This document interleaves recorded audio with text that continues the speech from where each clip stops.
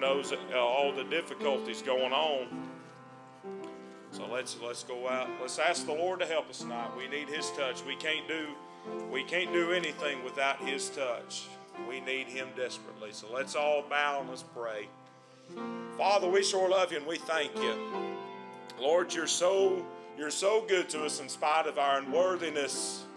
You're so good to us even in spite of all the times that we fail you, and yet, God, you've been so wonderful. You've been so abundant.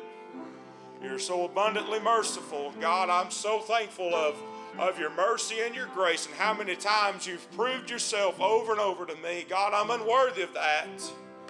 And Lord, I ask you to help us tonight. Lord, I pray to help our church family. Lord, you know the needs of each and every uh, person going on, going through struggles. God, Lord, it's Lord, we know that we're in the last days and there's uh, we're in the perilous times, Lord. And Lord, it seems like that the world is trying to uh, convince us that we should just that we should just uh, stay down, Lord. That we should that we should just quiet down, not say anything about anything. But God, I thank you that we have a word that we that we can still proclaim today that you are the, the one and only true God. And I'm so thankful of what you've done.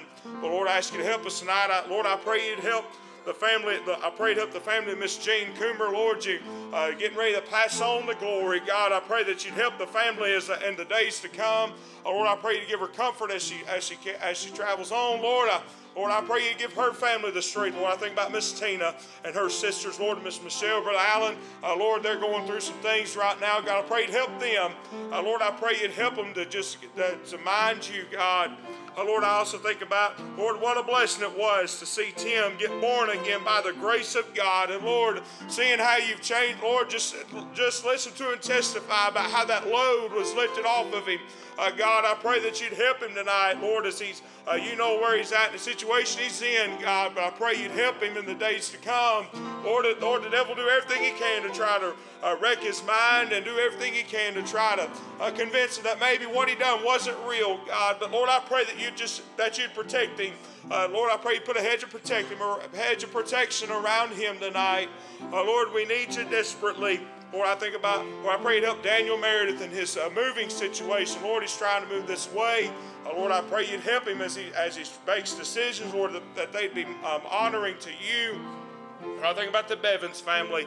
Uh, they, they just lost their grandmother. God, I pray you'd help them uh, in the days to come with that. Oh, Lord, I also think about, Lord, there's several unspoken tonight. Lord, you know the needs of each and every individual. Got things going on. And Lord, uh, Lord, I've got, Lord, I've had some things going on and I've seen you answer them. And Lord, you've given me grace. You've given me peace. Uh, and I'm so thankful of that. Lord, I pray you to get that you'd help each and every one of us with that issue.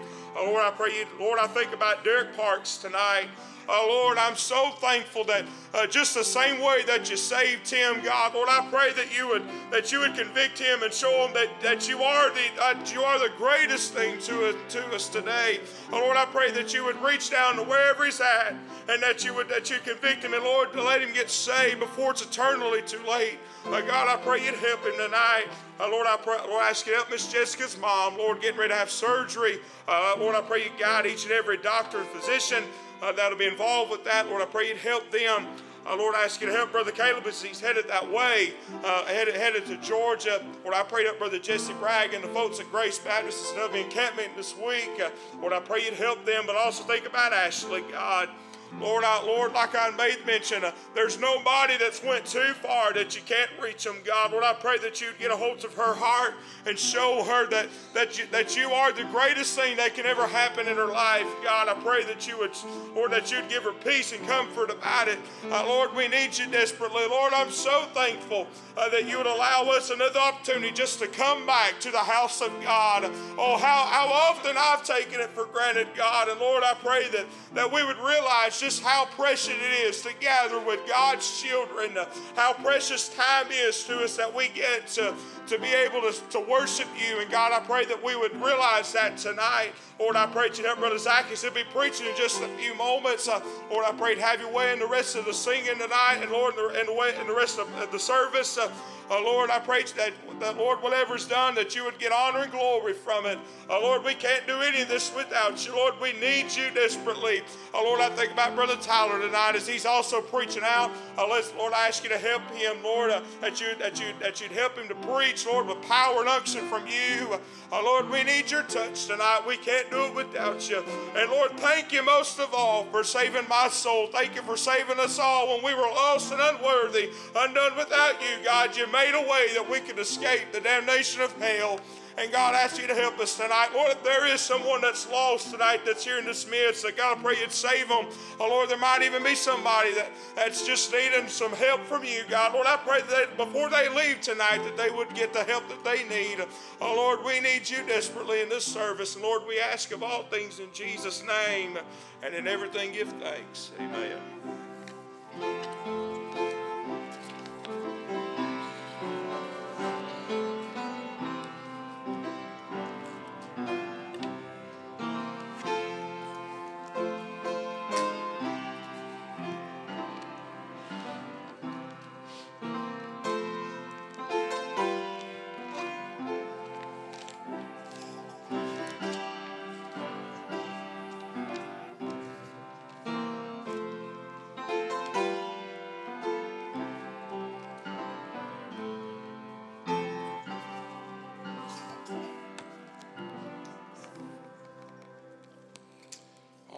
Be somebody with a word on your heart, something you want to say or do it this time, maybe give the Lord praise. All right, if not, turn with me to the book of Psalms, chapter number 13. Psalm chapter number 13. Well, I want to clear some things up from this morning's service. Uh, I do care about Brother Caleb no matter what he says, okay? So, Sister Heather called me yes, no, Friday. Friday night. I was sitting at the house. We our power went out Friday afternoon while I was at work. And uh, I asked Noelle on my way home, I'm like, what are we doing for supper? She said, I don't know, but I can't cook. That's a valid point. So I got home and I decided I wanted Chinese from Columbia because I'm not ready to eat the one here yet. And uh, some of you got that, some of you will get it later. Uh, so we were sitting on the couch and I called and ordered the food, and then Sister Heather called me and she said, Caleb ain't made it home from work yet. He's about an hour and a half. She said, well, I can't get out either way. And when she said that, she was calm. She was fine. I thought, well, he's just waiting to get around the trees that are down in the road. I said, okay. I said, everything, I don't even remember what I said. That's how nonchalant the conversation seemed to me. And so I got off the, she said she was going to, uh, she called me to ask me if I was on my way home. And I said, no, I'm already at home. And uh, she said, well, I'm, I'm going to call somebody to see if they can come this way and look for him. I said, well, call Connor. I'm, I'm sure he's off work now. He could probably drive that way and just maybe drive by him or something. And I hung up the phone. I mean, that was all it was to me. I wasn't, I, I, I wasn't worried or nothing. And uh, I left to go get our food, and I got about halfway to Columbia from our house, and uh, there was a cop sitting in the road. There's a power line in the road. And he made me turn around, and in the process of me turning around, Brother Tim called me. Where are you at?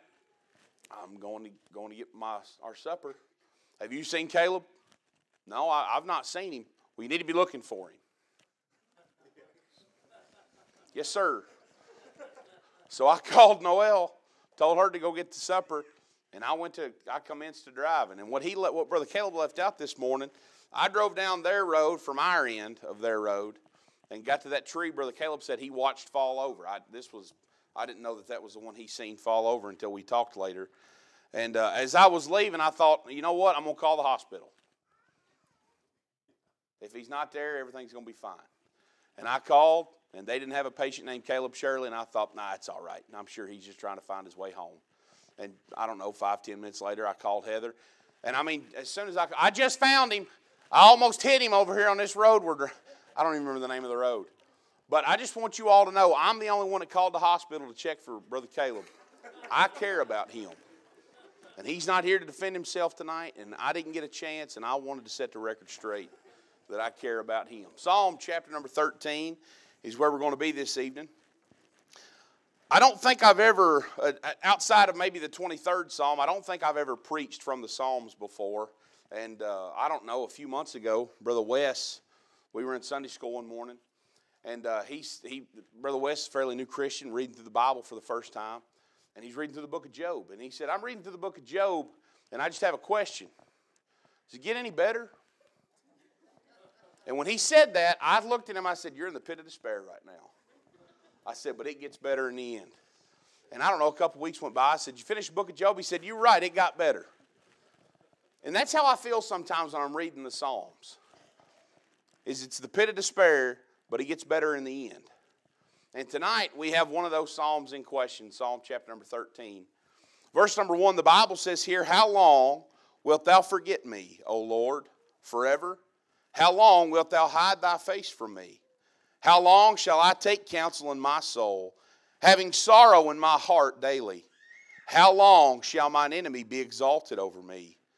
Consider and hear me, O Lord my God. Lighten mine eyes, lest I sleep the sleep of death.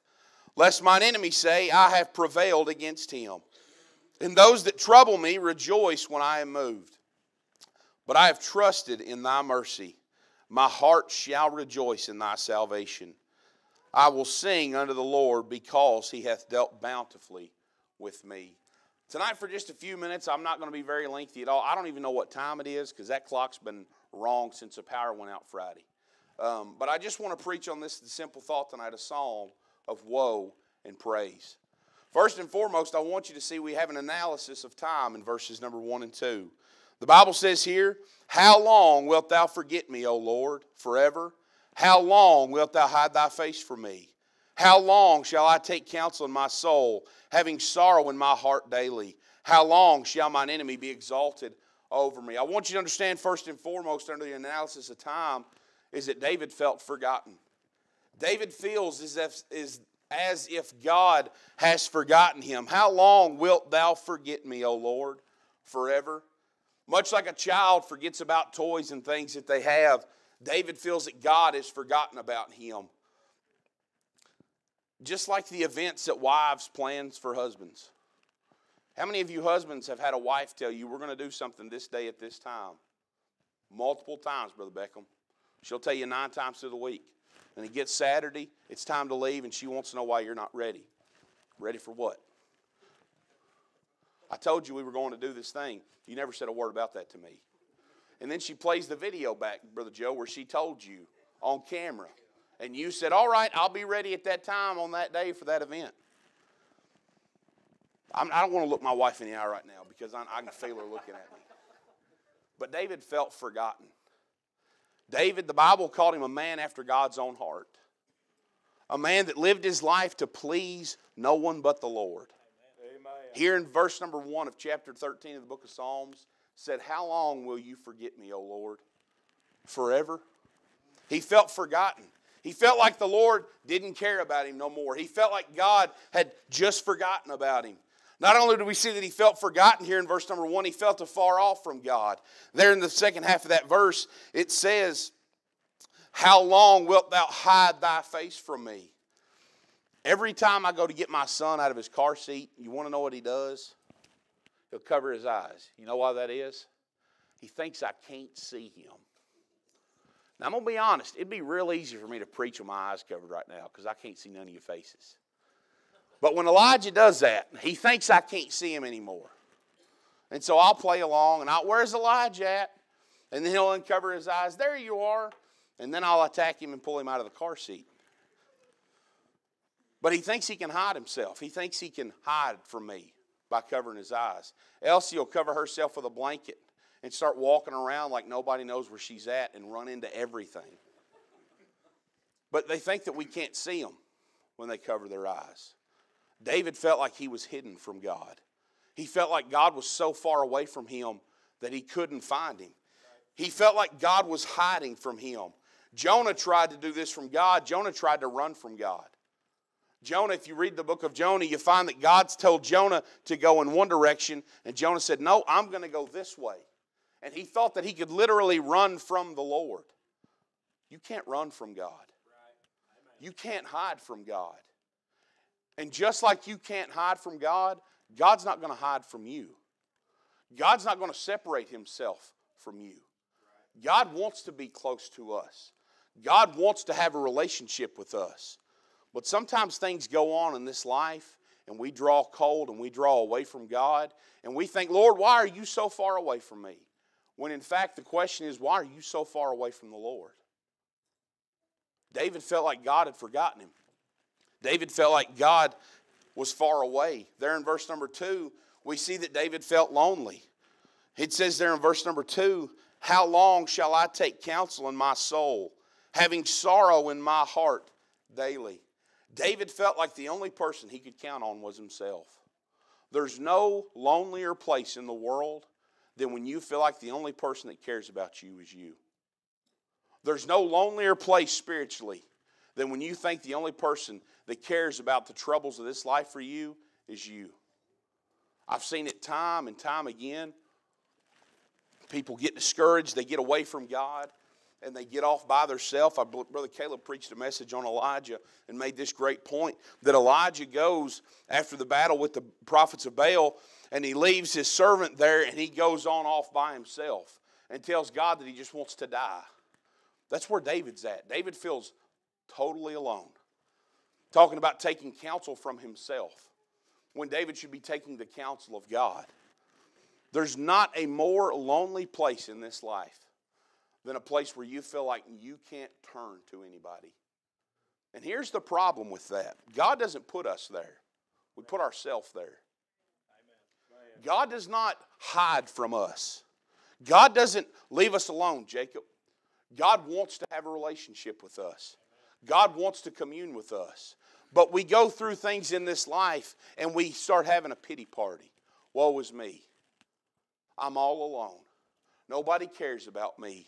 Nobody cares about what I'm going through. Well, here's the problem with that the Lord cares.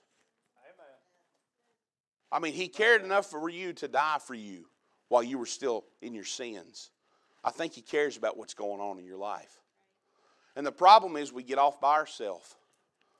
We go away, we find a hole to crawl into, a bed to lay down in, and we just start heaping pity on ourselves. We start, woe is me. We start trying to, to, to just take counsel from ourselves. David felt lonely here in verse number two. Not only did, uh, did he feel lonely, uh, but also we can see that when you turn to yourself, your counsel shows you have nowhere else to turn. The Bible says there's a way which seemeth right unto a man, but the ends thereof are the ways of death. And when you start listening to yourself and you start taking counsel from yourself, that shows everybody around you you have no faith and trust in nobody else in the around you. Even Job had friends. Now, I say friends with parentheses around it. I know I made light of the book of Job, but if you read the book of Job, you find that Job, in his darkest time, still had men that came to him. I think their intentions in the beginning was, was good. But then they didn't see things the way Job saw things, and they started running him in the ground. But the problem with that was Job turned to them in his time of need. Job didn't feel all alone, but David did here in Psalm chapter number 13. And the thing about Psalm 13 is we don't really know when, when this psalm was written. We know that it's a psalm of David.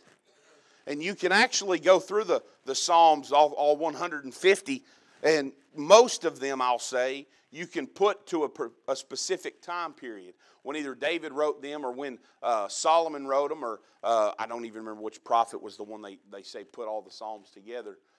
But the fact of the matter is, we don't know when this psalm was written. We don't know what hardships David was going through. We don't know what trials David was going through. But by his own words, we know that he felt lonely. Not only did he feel lonely, but he felt like a loser. He felt as though his enemies were over him. The second half of verse number two says, How long shall mine enemy be exalted over me? He didn't necessarily only feel like his enemies were winning, but that they had advantage over him. They were, he felt he said, How long will they be exalted over me or lifted up over me?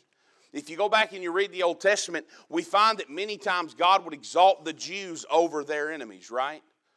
We go back and we look at Moses and Aaron and Hur and Moses standing on that mountainside. And he, when he put his hands in the air with his rod, that the, the Israelites would prevail. But when his arms were down, uh, the, their, their enemy would prevail. And so Aaron and Hur held his arms up so that God would exalt Israel over their enemy.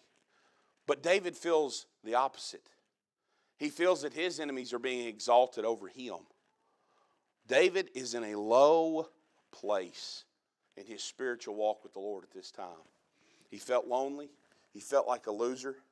We see that this was his analysis of how time was going. Not only do we see an analysis of time, but we see an attack of troubles. Verse number three, the Bible says, Consider and hear me, O Lord my God. Lighten mine eyes, lest I sleep the sleep of death. We see a plea for hearing. David wasn't sure if God could even hear him. He begs God, Consider and hear me, O Lord. Have you ever prayed a prayer and thought it just hit the ceiling and came right back down in your lap? Have you ever prayed and thought, what good did that do me? That's where David was at. David was in a place where he was begging God not to answer a prayer, but to hear him. Lord, if you'll just listen to me. I've been there. I'm 32 years old. I'm sure some of you have seen a lot darker things than I have, been through a lot harder trials. But guess what? Trials in your life are big to you, right? We don't all go through the same struggles, but all of our struggles seem big in our own eyes. David had a lot of struggles.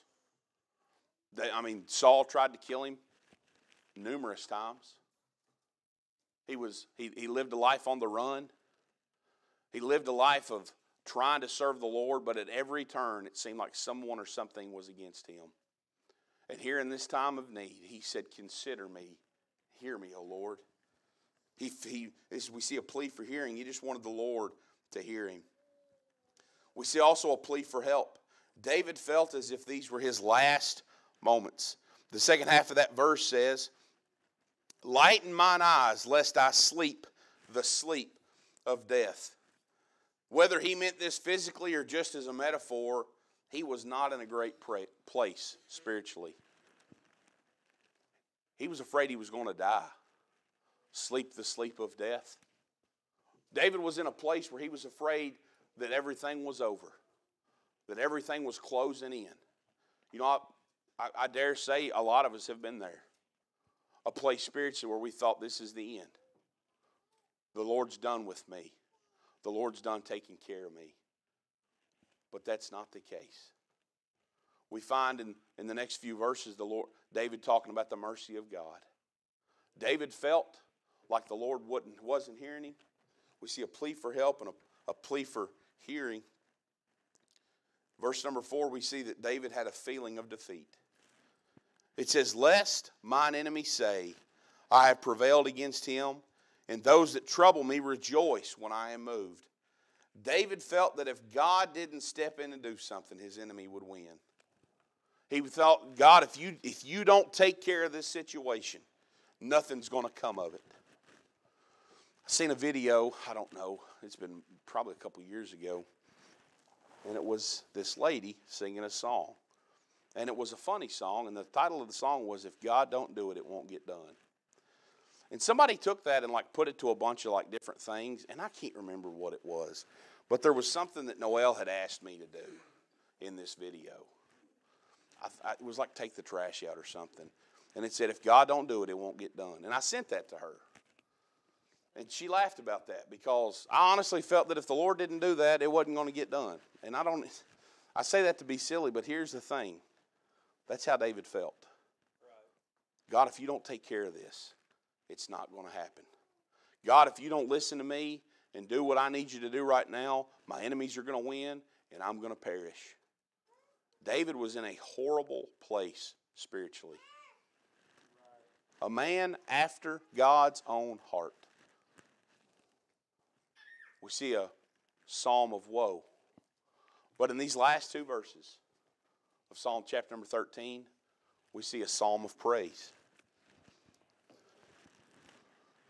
Verse number 5 But I have trusted in thy mercy.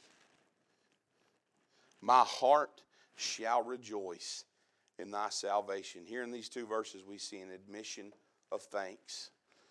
Here in verse number five, we see first and foremost a moment of clarity. In David's darkest moments, he always remembered that God's mercy endureth forever. Amen.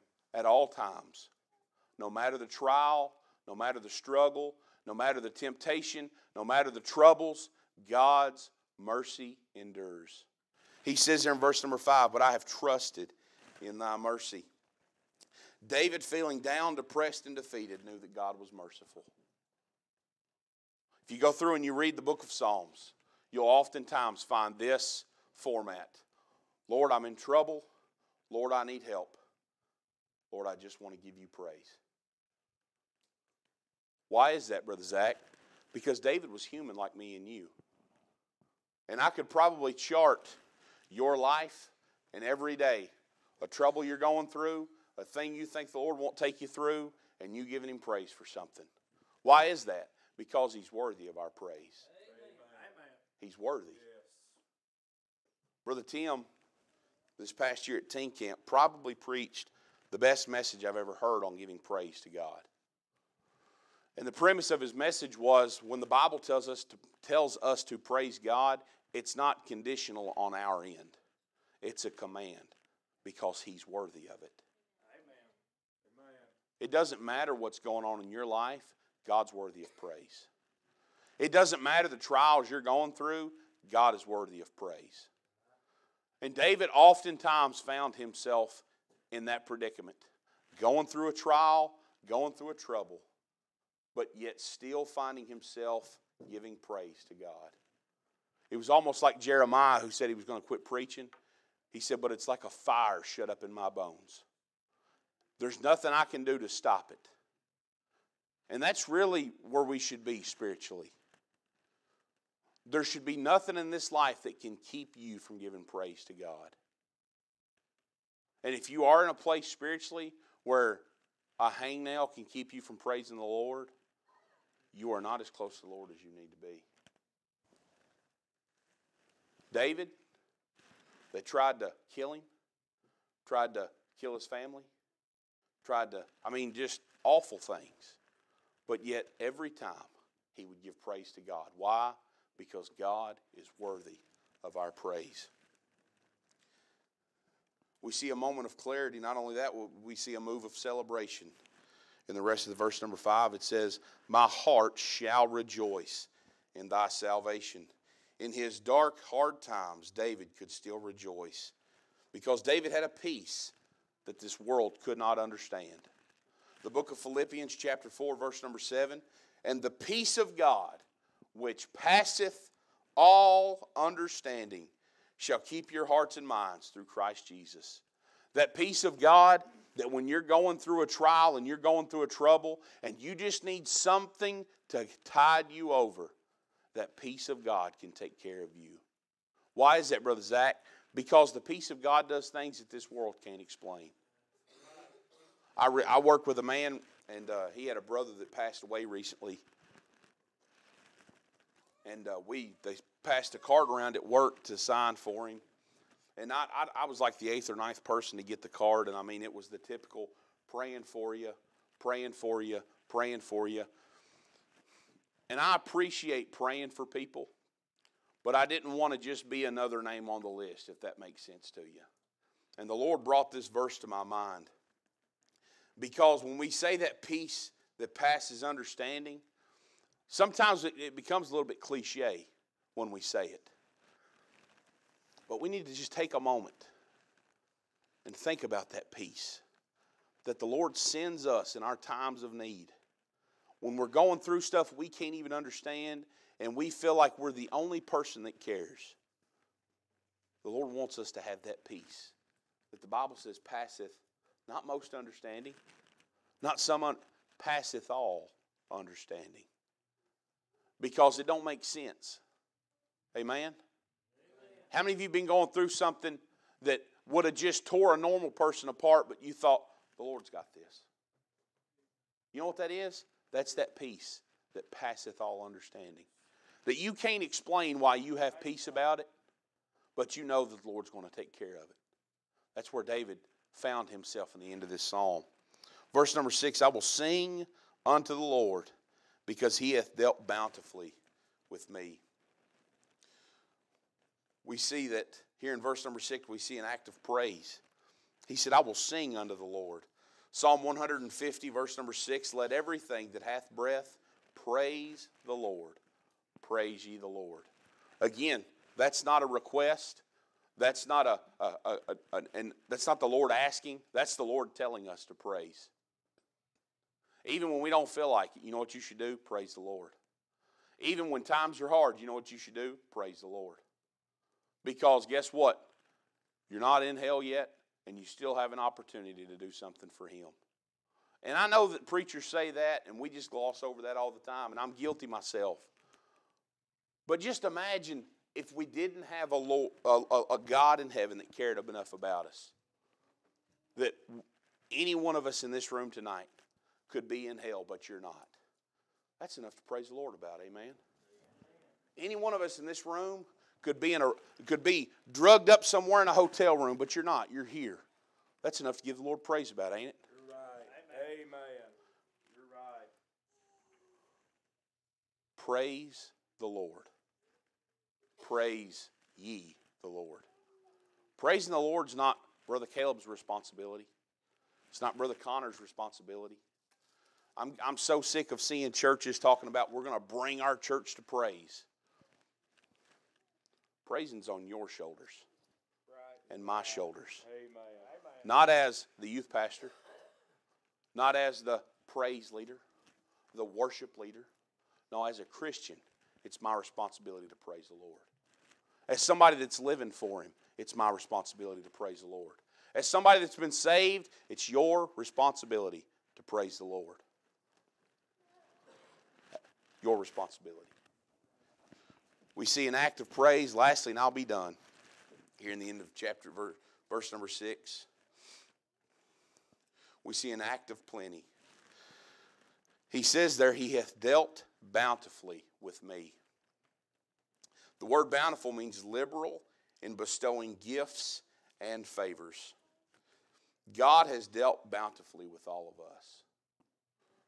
I dare say we go around the room tonight, you couldn't name all of the things that you have because of the Lord. You couldn't name all of the blessings of God in your life. Why? Because He's dealt bountifully with us.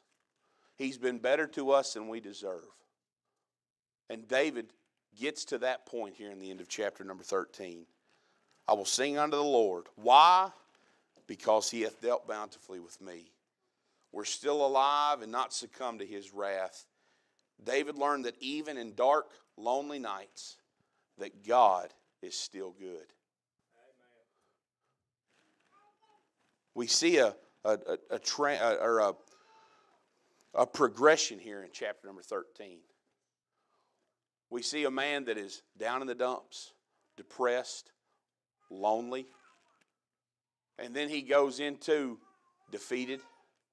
But then he goes into somebody giving praise to the Lord. Why?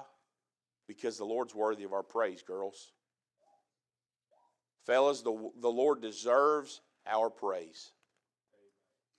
No matter what we're going through, no matter what's going on in this life, no matter the heartache, no matter the trial, the Lord's worthy of our praise. Let's bow our heads. Lord, we thank you for everything you've done for us and the blessing you bestowed upon us. Lord, I thank you for this lesson tonight, Lord, this psalm of woe and praise.